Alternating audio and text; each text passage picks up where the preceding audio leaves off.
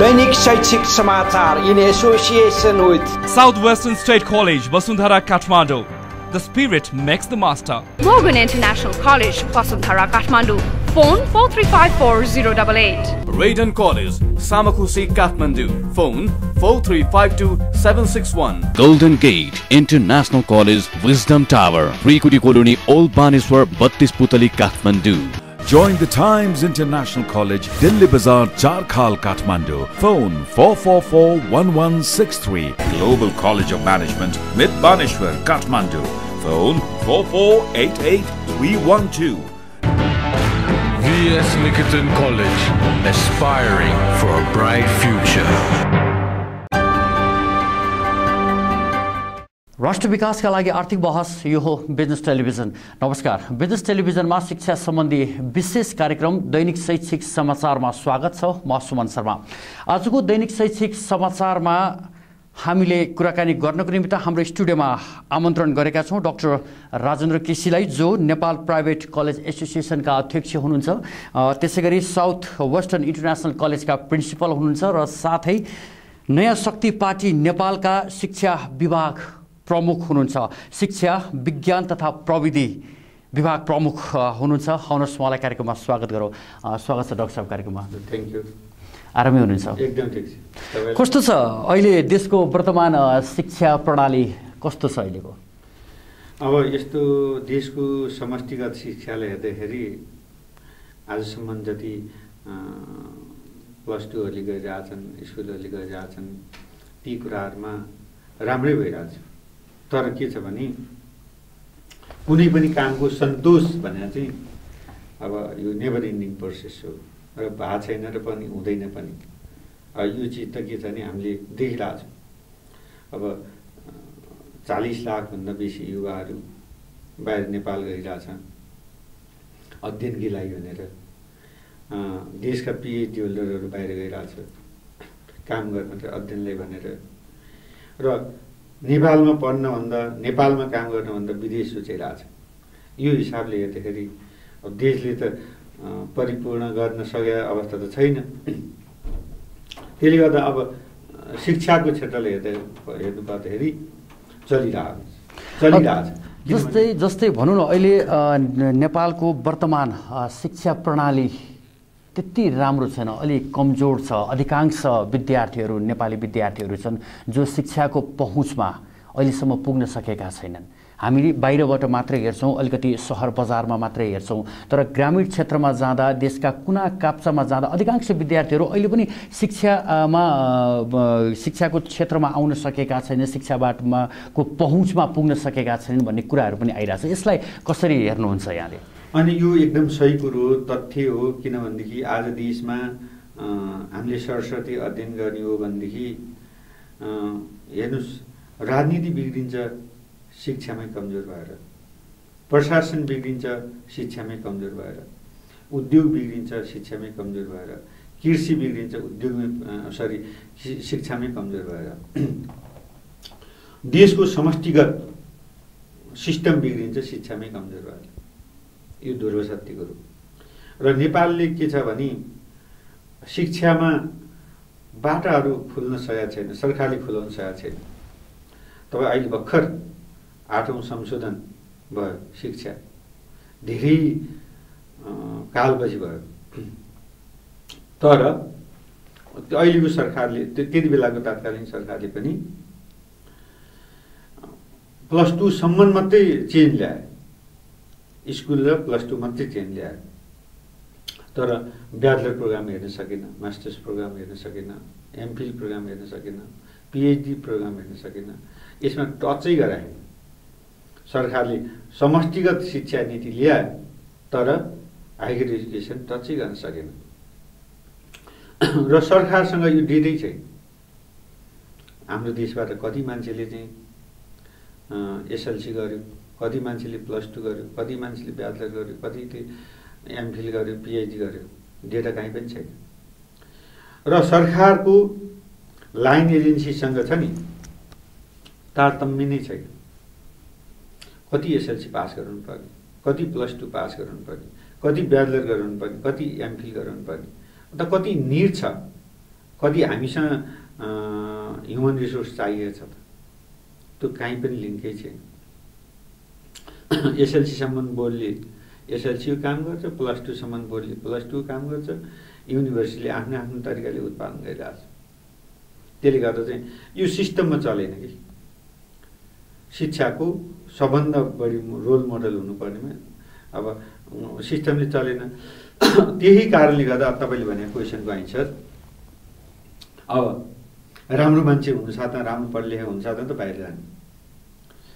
Europe America Canada सारा कन्ट्रीहरूले चाहिँ हाम्रो ह्युमन रिसोर्स लिने त्यहाँ खपत गराउने गर्ने। तर हामी प्रडक्सन गर्ने। त्यति बेलासम्म प्रडक्सन गर्ने। सबभन्दा सक्षम गुड टाइम हुन्छ नेपालीहरूको त्यसपछि उता एक्सपोर्ट गर्ने। नेपालको शिक्षा अन्तर्राष्ट्रिय बजारमा बिग्दा पनि बिग्दैन भनिन्छ नि होइन? अहिले जहाँले भनिरहनु भएको छ नेपालमा पढे लेखेका शिक्षा हासिल गरिसकेपछि पढे लेखेका विद्यार्थीहरू पढाइ सकिसकेपछि अन्तर्राष्ट्रिय बजारमा जान्छन् विदेशमा जान्छन्। विदेशीले नेपाली विद्यार्थीहरूलाई खरिद गरिदिन्छ। तर नेपालको शिक्षा त अन्तर्राष्ट्रिय बजारमा बिग्दैन भन्नेहरू पनि छन्। यसलाई कसरी हेर्नु भएको छ? हेर्नुहोस् के हुन्छ भने मेरै उदाहरण लिन्छु। मैले त मेरो ग्रो अप त गाउँमा हो। धादिङको फुलखर्का। एकदम remote area far remote area. त्यहाँबाट मैले एसएलसी गरेँ। यहाँ आएर मास्टर्स गरेँ। र युएसमा मैले पिएचडी गरेँ। अब मैले चाहे भए त उहीँ काम गर्न सक्थेँ। त्यहाँ गभर्मेन्टले दिन्थ्यो नि। किन बिग्री हुन्न? बिग्री नहुने कुरो हो के हो भने केही दिन केही महिना त एडजस्ट भइहाल्छ। तपाईँले ट्रेनिङ गर्छ पलिसिङ गर्छ सब त्यो गर्छ। मान्छे बनाउँछ अनि काम दिन्छ। जति पनि बिग्री हुन्छ।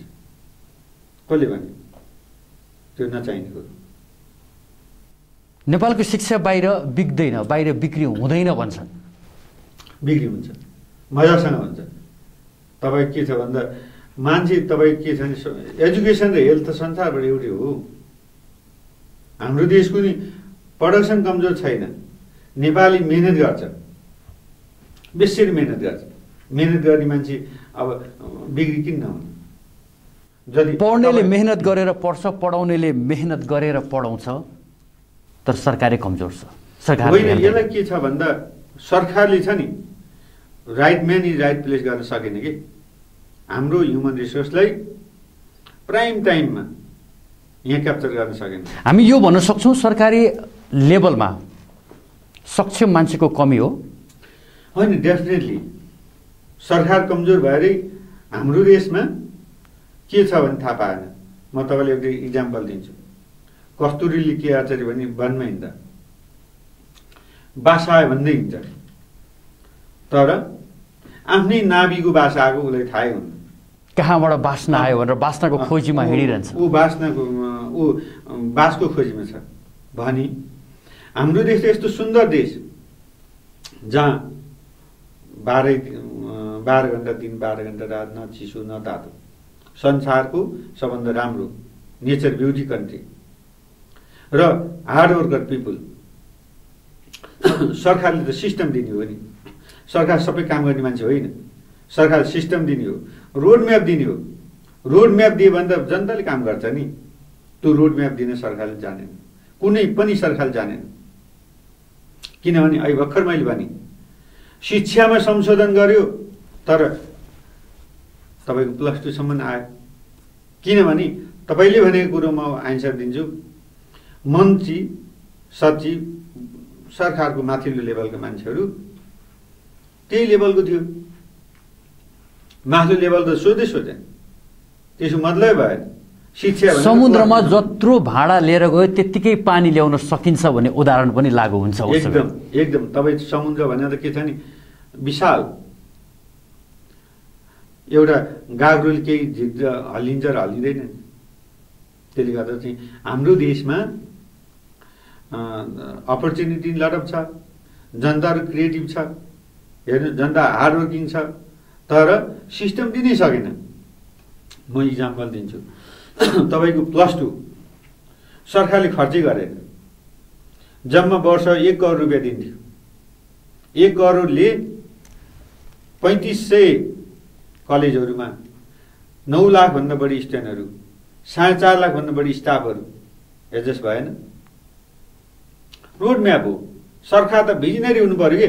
सरकारले काम गर्ने नै होइन। सरकार त काम लगाउने हो। वाजदको रूपमा मोनिटरिङ एन्ड इभ्यालुएसन गर्ने हो।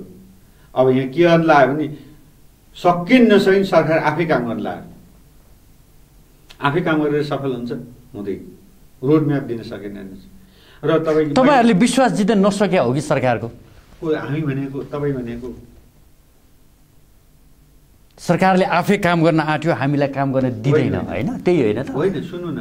तपाईँ हामी जनता भने के हो भने सिस्टममा बस्नु परेन देशको ल एन्ड अर्डरमा बस्नु परेन। बस्नै पऱ्यो नि। भनेदेखि त्यही बस्दाखेरि सरकार भिसिनेरी हुनु पर्यो मन्त्री किन भएको? प्रधानमन्त्री किन भएको भन्दा अरू जनताभन्दा जनताको लिडर जनताको सबै कुरो थाहा पाएर देश बनाउने मान्छे त्यही विभाग बनाउने मान्छे हो नि। त्यही भएर जनताले पत्याएर पठायो भने भनेदेखि त्यो दिन सकेन। तपाईँ त अहिले नयाँ शक्ति पार्टीमा पनि हुनुहुन्छ। होइन? शिक्षा विभाग प्रमुख हुनुहुन्छ। नयाँ शक्ति नेपाल पार्टी। तपाईँहरूको नीति के त अब? शिक्षालाई कसरी अगाडि बढाउनुहुन्छ तपाईँहरूको पार्टीको नीति हाम्रो एकदमै स्पष्ट छ। के हो भने हामीले विशेष गरेर यी भइरहेका भइरहेका कुराहरू छ नि नेपाल सरकारले अहिले दुई सय चालिस वर्षदेखि काम गर्दै आएको शिक्षाका कुराहरूमा हामी के चाहन्छौँ भनेदेखि धेरै कुराहरू मिल्छन् राम्रै छ। त्यो कार्यान्वयन पक्ष मात्रै शिथिल छ। दिशाविहीन छ त्यो कुरोलाई हामी कार्यान्वयन गर्नतिर जान्छौँ। टोटल उलट पलट गर्नुपर्ने कुरो हामी देख्दैनौँ हो। कार्यान्वयन पछि मात्रै अहिलेको गभर्मेन्ट आजसम्मको शासकहरू कमजोर भएको एक। दोस्रो केही केही सानसाना कुराहरू छन् जसले ठुलो परिवर्तन ल्याउँछ। भा जति युवाहरू बाहिर गइरहेछन् नि दिनको दुई हजारभन्दा बेसी युवाहरू। जति धेरै पढ लेखेका मान्छेहरू बाहिर गइरहेछन् नि ती मान्छेहरूलाई नेपालमा ब्याक टु नेपाल आउने वातावरण तयार गर्छौँ र युथहरूलाई बाहिर जानबाट रोक्छौँ दोस्रो तेर्सो नेपालमा प्राइभेट युनिभर्सिटीहरू धेरै खोल्छौँ हरेक स्टेटमा स्टेट युनिभर्सिटीहरू हरेक स्टेटमा टेक्निकल युनिभर्सिटीहरू त्यो प्रायोरिटीमा राख्छौँ फोर्थ गभर्मेन्ट सेक्टरमा जसले काम गर्छ त्यसको छोराछोरीहरू गभर्मेन्ट सेक्टरकै स्कुल कलेज युनिभर्सिटीमा पढ्नुपर्छ त्यो बाध्यात्मक बनाउँछ। त्यसको पछाडि के छ भन्दा अब ग जसले चाहिँ जो गभर्मेन्ट सेक्टरको मान्छेहरू छन् तिनीहरू त्यहाँ हुन साथमा गभर्मेन्ट सेक्टरलाई अटोमेटिक राम्रो बनाउँछन् भन्ने चाहिँ हाम्रो कन्सेप्ट हो। डाक्टर साहब हामी हाम्रो कुराकानी फेरिलाई फेरि निरन्तरता दिने छौँ। अहिले बेला भएको छ छोटो ब्रेकको। दैनिक शैक्षिक समाचारमा पालो भएको छ छोटो विश्रामको विश्रामपछि हामी पुनः उपस्थित हुनेछौँ। हेर्दै रहनुहोला। Business television.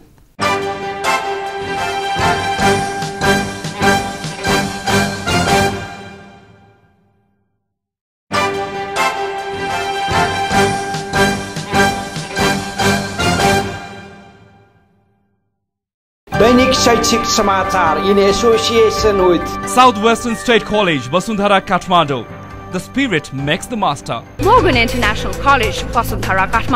phone four three five phone 4354088 रेडन college समासी Kathmandu phone four three five two seven six one golden gate international college wisdom टावरुटी colony Battis Putali Kathmandu Join the Times International College, Delhi Bazaar, Charkhal, Kathmandu. Phone 444-1163. Global College of Management, Mid Baneshwar, Kathmandu. Phone 4488312.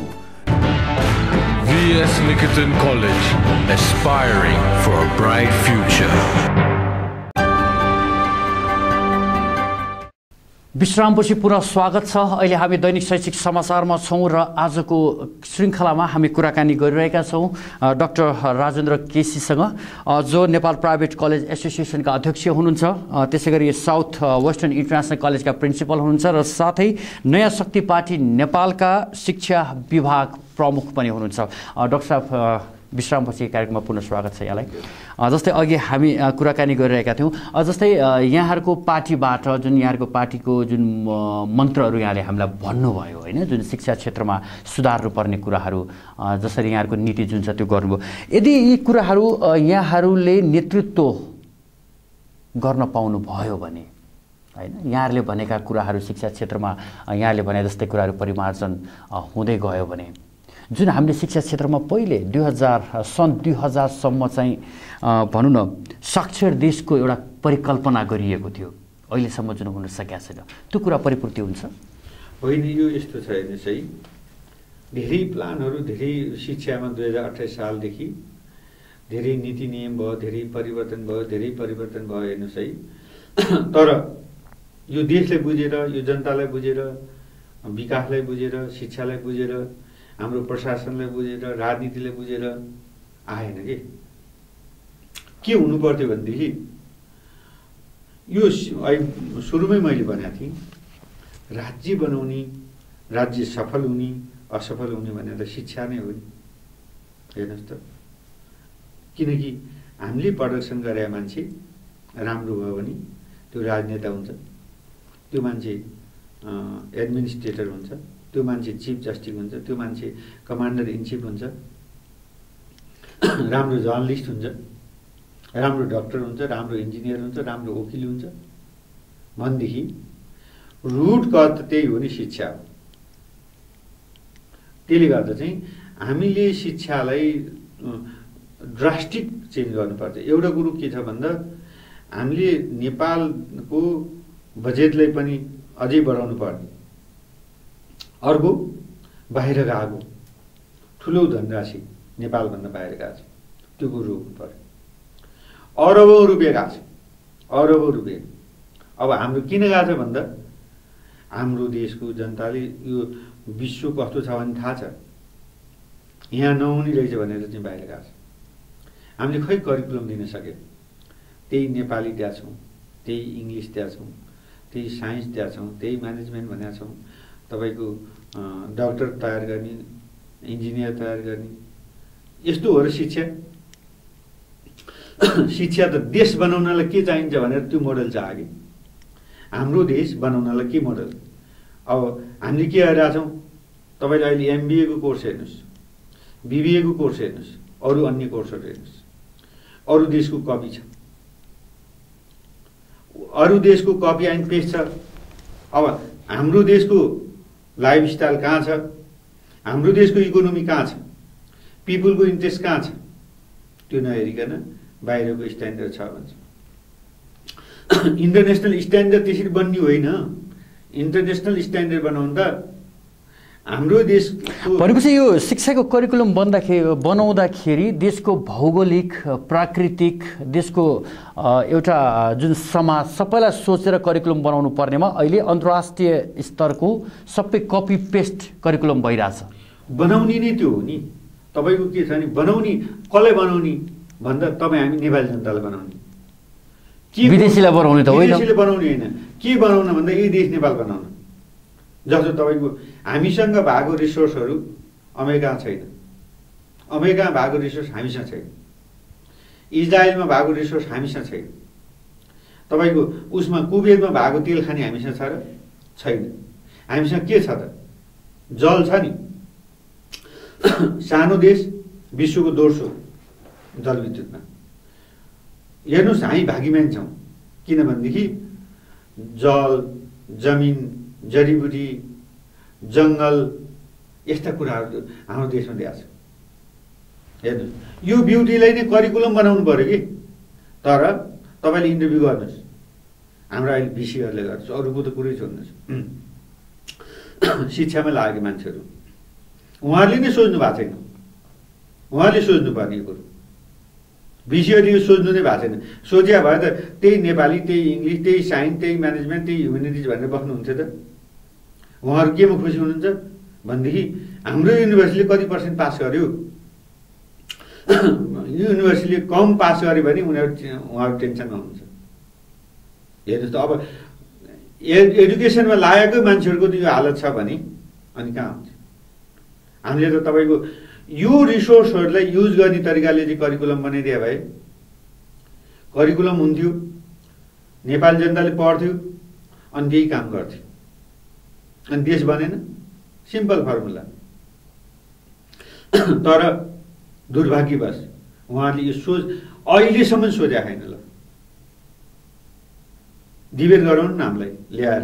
उहाँहरूलाई यही विषयमा नेपालकै चासोको विषयमा मैले hypothetical किन बोलेँ? साराले सुनिराख्नु भएको छ भनेदेखि अहिलेसम्म सोध्या छैन ल। अब कहिले सोच हुन्छ थाहा छ? जब न्यू जेनेरेसन मान्छे त्यहाँ नगइकन यो सोचै हुँदैन। यहाँहरूले पनि भन्नुभएको छैन गएर त्यो लेभलमा? भनेर छ नि। भनेर मैले कतिचोटि भनिसकेँ। आजभन्दा चार वर्ष पहिलेदेखि ट्युमा विशेष गरेर। ट्युका पहिलाका विषयहरूलाई मैले भनिसकेँ। तपाईँले करिकुलम नयाँ ल्याउनु पऱ्यो अहिले तपाईँले हाइड्रो सम्बन्धी करिकुलम ल्याउनु पऱ्यो एनजिओ म्यानेजमेन्टको करिकुलम ल्याउनु पऱ्यो कोअपरेटिभ म्या ऊ ल्याउनु पऱ्यो हब सम्बन्धीको ल्याउनु पऱ्यो ज जर्नलिजमको जर्नलिजमै हेर्नु पनि व्यथिति छैन। जर्नलिजम पढ्ने भने जेनरल जर्नलिजम होइन नि। जर्नलिजममा डेभलपमेन्ट हुन्छ जर्नलिजममा एडुकेसन हुन्छ जर्नलिजममा तपाईँको एग्रिकल्चर हुन्छ जर्नलिजममा तपाईँको वाटरको हुनसक्छ टुरिज्मको जर्नलिजम हुनसक्छ हेल्थको जर्नलिजम हुनसक्छ। सेक्टर वाइज जान सकिन्छ। सेक्टरल जानु पऱ्यो कि?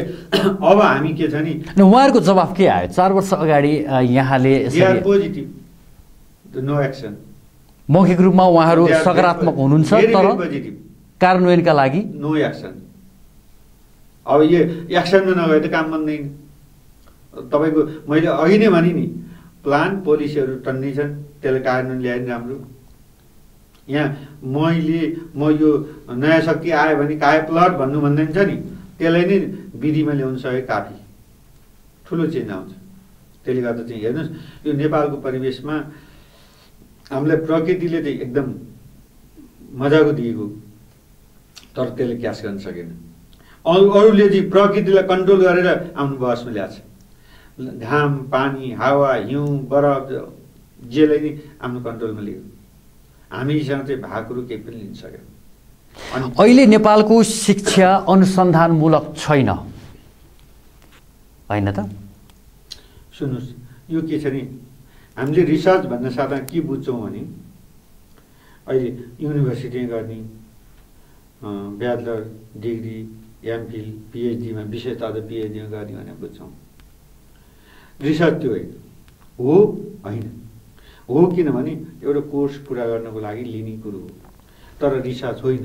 भने मतलब होइन कसरी हो भन्दा एउटा सानो बच्चाले नि रिसर्च गर्न सकिन्छ। कुनै पनि कुराको केस स्टडी गर्ने। कुनै पनि कुराको स्टडी गर्नुलाई रिसर्च हो। जसरी गरे पनि हुन्छ। तपाईँले म बोलिरहेको छु केही रिसर्च गरिरहेको छु। हेर्नुहोस् त्यसले गर्दा हामीले रिसर्चलाई एकदम बेग लियौँ। त्यस्तो लिनु पर्दैन। ऊ क्रिटिकली थिङ्क गर्ने क्रिटिकली सोच्ने एनालाइसिस गर्न सक्ने। यो किन भयो? कसरी भयो? कहाँ भयो? कस्तो भयो? यही कुराहरू जुन लेभलबाट पनि गर्न सक्छ। सानो लेभललाई सानो हुन्छ भने मतलब त्यो प्र्याक्टिकल वेबाट के? थ्योरिकलबाट होइन प्र्याक्टिकल वेबाट काम गर्ने मोडालिटीबाट जाने। अहिले त भाषा भन्नुहोस् कि नभाषा भन्नु? भाषा भन्नु भने भएको छैन नभाषा भने कहीँ केही त भइरहेको छ शिक्षा क्षेत्रभित्र विद्यार्थीदेखि लिएर एउटा शिक्षाविदहरू म शिक्षामा यति माथि छु म शिक्षा क्षेत्रमा मैले यति काम गरिसकेका छु भन्ने एउटा बौद्धिक लेभलमा पनि रिसर्चलाई लिएर यही कुराहरू आइरहन्छ जुन अहिले हामी गरिरहेछौँ होइन? यो मानसिकता हामी कसरी हटाउन सक्छौँ होइन यो के छ भने तुरुन्तै पढ्ने र पढाउने ट्रेनिङ दिएर यो हट्ने र हटाउने होइन। बुझ्नु पर्यो। यो बिस्तारै के यो सबै कुरोलाई हेर्नुहोस् है माइक्रो लेभलबाट नर्मल तरिकाले लिनु पऱ्यो किनभनेदेखि हामीले सबै कुरो ठुल्ठुलो कुरो ठुल्ठुलो सोच ठुल्ठुलो हुन्छ भनेर चाहिँ हाउगुजी गर्ने काम चाहिँ केही पनि नगर्ने। अनि त्यसले हुँदैन। रिसर्च भन्ने साथमा अझ के भन्छ भने पिएचडीलाई मात्रै गर्ने पढ्नेले। त्यो होइन नि अहिले तपाईँको चाहिँ प्रोजेक्ट वर्क गर्ने भन्छौँ नि सानो बच्चादेखि। उसले त्यसको चाहिँ एनालाइसिस गर्ने क्या क्रिटिकल्ली यो सेतो किन सेतो त रातो। किन रातो भयो त सेतो नभइकन रातो किन भयो? होइन र? यही होइन रिसर्च किन भयो? त तपाईँ त्यहाँ बस्नुभयो म यहाँ बसेँ। किन? तपाईँ त्यहाँ किन बस्नुभयो म यहाँ किन बसेँ? त्यसले गर्दा चाहिँ धेरै ठुलो कुरो हिसाबले सोच्नुहुन्न। यो त्यही भएर हामीले कलेजमा मैले के गर्छु भने तिनवटा चिज चाहिँ महत्त्वपूर्ण मानेको छु। अब्जेक्टिभ हाम्रो कलेजमा। एउटा टिचिङ एन्ड लर्निङ दोस्रो रिसर्च एन्ड डेभलपमेन्ट तेस्रो सोसियल एक्टिभिटिज। हामी कुनै पनि कुराको टिचिङ एन्ड लर्निङ गर्छौँ। अनि त्यसलाई केसमा के यो हुन्छ कि हुन्न भयो भने कसरी भयो? अनि थर्ड त्यो कुरो चाहिँ हामीले सोसाइटीमा काम गर्ने। त्यहाँभन्दा अर्को फोर्थ कुनै पनि छैन भन्ने मलाई लाग्छ। त्यो फोर्थ केही पनि छैन। किनभने अब हामी जति धेरै गऱ्यो थोरै गऱ्यो नि त्यतिमै सीमित हुन्छौँ। नि त्यसले गर्दा यो कन्टिन्यू प्रोसेस हो। यो चाहिँ हामीले सोसाइटीमा कसैले धेरै गर्छ कसैले थोरै गर्छ? यति सिम्पली लिनु पऱ्यो काम मात्रै क्रिटिकल्ली गर्नु पऱ्यो नेपालको शिक्षाको गुणस्तर नेपालको शिक्षाको क्षेत्र र जुन यहाँहरूले एउटा जुन कल्पना गरिरहनु भएको छ जुन परिकल्पना गर्नु भएको छ नेपाली शिक्षाको त्यो ठाउँमा पुग्नको लागि आवश्यक कुराहरू अहिले के के छ के हुनुपर्छ? शिक्षा के हुनु पऱ्यो भने समाजले चाहेको अनुसार हुनु पऱ्यो देश निर्माणको लागि खालको हुनु पऱ्यो र शिक्षा कस्तो हुनु पऱ्यो नि दुईवटा निड र रिसोर्स बेस हाम्रो देशलाई हाम्रो पिपुललाई के निड छ र हाम्रो देशमा के रिसोर्स छ? त्यही रिसोर्सलाई निड र रिसोर्सलाई हेरेर करिकुलम बनाउनु पऱ्यो त्यही करिकुलम लागू गऱ्यो भनेर अनि त्यही कुरो चाहिँ भोलि एक्सनमा गयो भने हामी अगाडि बढ्छौँ। यो हामीले चाहिँ कुनै पनि देशको कपी एन्ड पेस्ट गरेर करिकुलम बनाउनु भएन। कुनै पनि देशको करिकुलम मात्रै नभएन कुनै पनि चिजमा कपी एन्ड पेस्ट गर्नु भएन।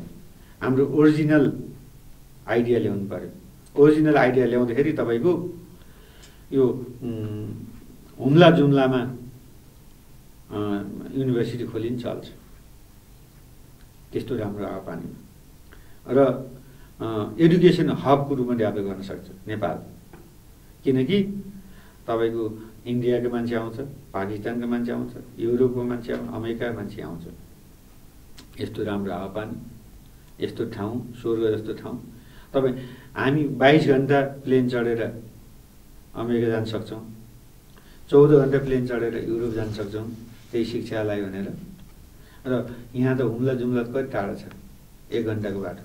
नेपालको पूर्व मेची पश्चिम महाकाली कुनै पनि ठाउँ गयो भने सवा घन्टाभन्दा बेसी लाग्दैन। प्लेनलाई यदि सर्ट दुरीमा हामीले हुम्लालाई टाढा देख्यौँ जुम्लालाई टाढा देख्यौँ कालीकोट टाढा टाढा देख्यौँ अब नजिकको कुरो टाढा देख्यौँ। अनि शिक्षामा पनि नेपालको सबै भएको समस्या त्यही हो। हामीले के छ भने अरू देशको अरू देशको अरू देशको भन्दा भन्दै सपना देख्दा देख्दै अनि हामीसँग भएको कुरो गयो सडेर गयो खेर गयो त्यसले गर्दा चाहिँ एउटै चिज हो हेर्नुहोस् शिक्षाले नै यस्ता परिवर्तन गर्न सक्छ गराउन मिल्छ। र त्यसले गर्दा चाहिँ गभर्मेन्ट अलिकति यसलाई अलि फार उसमा हेर्नेले के गर्नु पऱ्यो भन्दा विदिन फाइभ इयर्समा यो चेन्ज आउँछ। धेरै बेर लाग्दैन। फाइभ इयर्समा किनभने अहिले नै करिकुलम चेन्ज गरेर चार वर्ष त एउटा कोर्स दिन्छ नि। धेरै लामै चाहिँ त्यसले चाहिँ अब यो कुरा सरकारले चाहिँ सोच्नु पऱ्यो मैले अहिले भने सरकार रोड म्याप दिने हो। सरकारले लगानी गर्नु पनि पाउँदैन। सरकारले त कार्यान्वयन गर्न पनि पाउँदैन। त्यसको मोनिटरिङ एन्ड इभ्यालुएसन सुपरभिजन गरिदिनु हो। त्यही कुरोमा सरकार चुकेको छैन। यदि साँच्चै यी चिजहरू गऱ्यो भनेदेखि देश त सुन्दर छ। एडुकेसन हब बनाउन हेर्नुहोस् यो निश्चित हो। यो समस्या छैन। हस् डाक्टर साहब कुराकानीको लागि यहाँसम्म आइदिनु भयो यसको लागि यहाँलाई धेरै धेरै धन्यवाद। हस् थ्याङ्क यू तपाईँले पनि यो टाइम दिनुभयो। मैले आफ्नो मनमा लागेको कुराहरू सम्पूर्ण दर्शकहरूले सुनाउने अवसर पाएँ। त्यसको लागि धन्यवाद। थ्याङ्क यू आजको लागि दैनिक शैक्षिक समाचार यति नै। अर्को श्रृङ्खलामा फेरि हामी अर्को एकजना अतिथिको साथमा उपस्थित हुनेछौँ। हेर्दै रहनुहोला बिजनेस टेलिभिजन नमस्कार।